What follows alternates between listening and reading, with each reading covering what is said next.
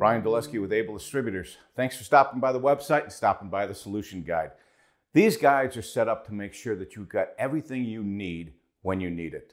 So let's get right into it. Today I'm talking about the Napoleon 97% two-stage furnace.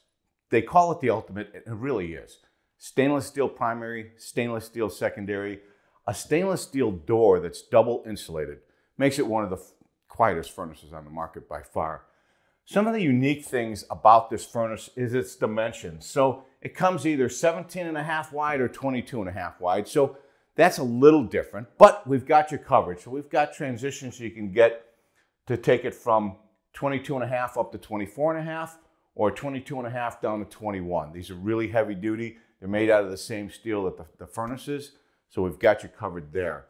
So along with the UV light, the stainless steel door, the stainless steel primary, secondary, the transitions, some of the things you need to know too when you're going through this guide is we're gonna try and guide you to every single thing you need, including a new gas union, a new gas stop, a six inch tall return box so you can put a 20 inch filter on the side, whether one inch or an aftermarket pleated.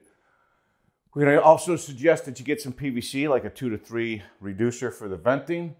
We're also going to suggest that you get a condensate neutralizer kit. Again, the water these things you know produce is very acidic. We've got plenums that will fit these things perfectly. We've got return filter boxes that sit underneath. It's got a filter and a little flap door so that's another nice way to go. They're 20 inches tall, so if you've got the height, that's a very, very nice way to go.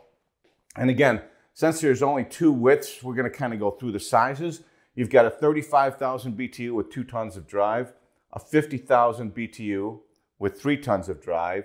70, you can choose. You can either go a skinny or a wide, and that's either a three ton or a four ton and 70,000 BTU.